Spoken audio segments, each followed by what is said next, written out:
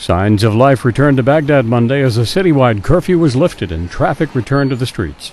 This baker reopened his business, as did this shopkeeper. And city crews were back to work cleaning the trash off the streets. This man says thanks to God, life has returned to normal. Curfew came after a recent upsurge in violence in several cities, mostly between Shiite militias. On Sunday, anti-American Shiite cleric Muqtada al-Sadr ordered his militiamen off the streets and called on the government to stop its raids against his followers. The government welcomed the move, which followed intense negotiations by Shiite officials. There was new violence, however. Shortly after al-Sadr's announcement, seven people were killed in a mortar strike in Basra, the site of intense Shiite fighting just last week and early Monday rockets and mortars were heard being fired toward the Green Zone in Baghdad. The U.S. military said there were no reports of damage.